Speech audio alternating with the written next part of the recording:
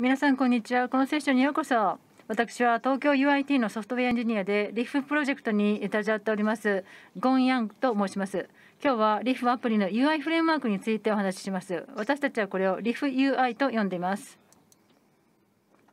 前回のセッションでも聞かれたかもしれませんが、今年は RIF アプリケーションのための UI フレームワークを作りました。以下のプレゼンテーションでは、私たちのフレームワークを表す LUI という言葉を使います。そうこのセッションでは、まず、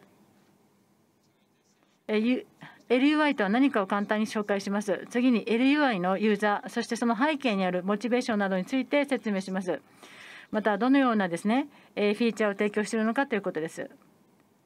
また、実際にどんなような感じなのかお見せします。最後に LUI の未来についても少し触れてみたいと思います。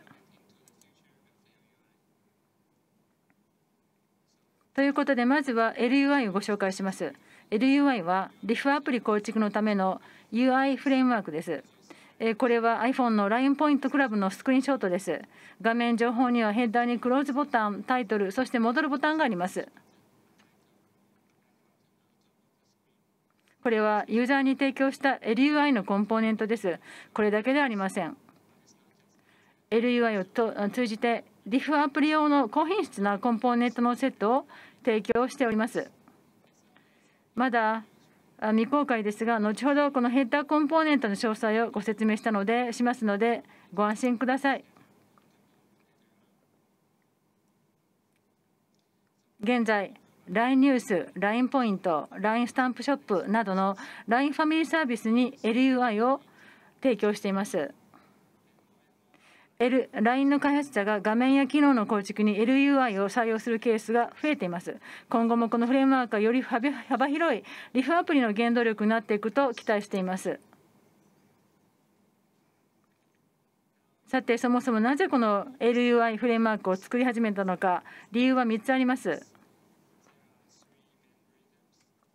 1つ目はインサイドラインですが、今年は旧フレームワークからリフフレームワークへの移行を行っています。そこで便利なツールやフレームワークを使ってこの作業を加速させたいと思ったからです。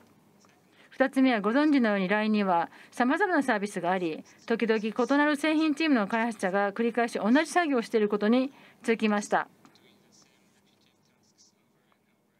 そこで LINE 開発者の重複している実装コストを削減したいというふうに考えています。最後に、ユーザーエクスペリエンスの向上のため、LINE ファミリーのすべてのサービスで一貫した UI エクスペリエンスを促進したいと思っています。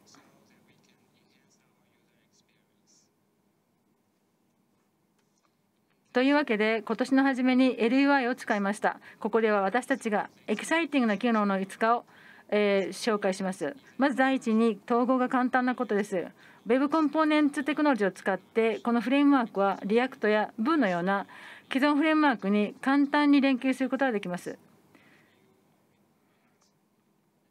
2つ目は一貫性です。私たちは異なる LIFF アプリでも一貫したユーザー体験を簡単に提供できるように LINE デザインシステムに基づいてコンポーネントを作成いたしました。3つ目は再利用性です。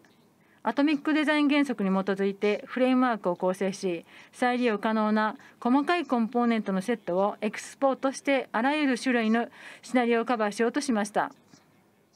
ユーザーは NPM パッケージまたは CDN からこれらのコンポーネントをインポートすることができます。最後になりますが、これらのコンポーネントはすべてカスタマイズが可能で、特定の機能要求に適用できる柔軟なインターフェースを定義しています。さて、今回は LUI コンポーネントの実例を紹介します。今日ご紹介するのは2つのコンポーネントです。LUI ナビゲーションバーと LUI ナビゲーションバックボタンです。この iPhone の画面の上の部分に緑色のヘッダーが見えます。これは LUI ナビゲーションバーと呼ばれる LUI コンポーネントです。通常はシェフエリアをカバーするものでタイトル1つとクローズボタンとバックボタンの2つのボタンがあります。では後ろのボタンをよく見ましょう。実はこれも LUI の別のコンポーネントです。LUI ナビゲーションバックと呼んでいます。このコンペコンポーネントの魔法は開発開発者用のページ履歴スタックを自動で管理し、現在のページを以前のページへルーティングする Go バック機能を提供することです。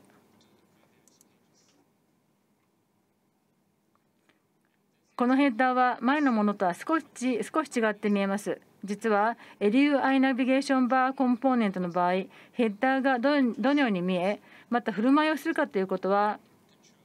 開発者が完全にコントロールできるようになっています。中央にはタイトル、そして右にはアクションエリア、左にはボタンエリアとカスタマイズ可能な3つのスロットが用意されています。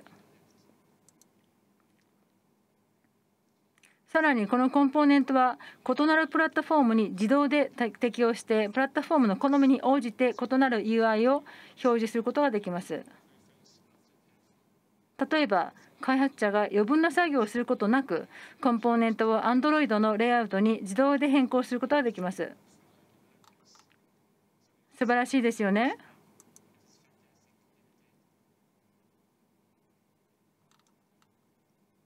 さてコンポーネントがどのようなものか見てきましたがじゃあどのように使うべきか使う使うかを見てみましょう実際にはとてもシンプルで分かりやすくカスタム要素なのでフレームワークを使わずにプレーンな HTML ファイルに HTML タグとして記述して属性でスタイルや振る舞いを指定するだけですコンポーネントはお互いに入れ子にすることもできてユーザーはそれらのカスタマイズ可能なスロットに子要素を提供することができます。またこのコンポーネントをリアクトや Vue アプリに統合するのもとても簡単です。パフォパフォーマンスを損なうことなく既存のコンポーネントと組み合わせることができます。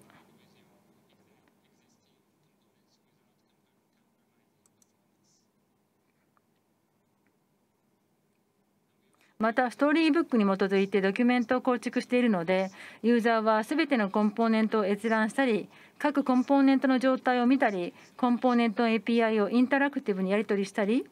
そしてテストもできるようにしました。開発者が私たちのコンポーネントをすぐに使い始めることができるようにしたいと考えています。LUI の紹介は以上ですがこれで終わりではありません。私たちはフレームワークにもっとエキサイティングな機能を提供することに取り組んでいます。また、ガイドや開発者ツールも継続的に改善していきます。最後に、ミニの開発者のための朗報ですが、このフレームワークをミニの開発者にも開放することを計画しており、ミニのアプリケーションをよりパワフルにすることを願っています。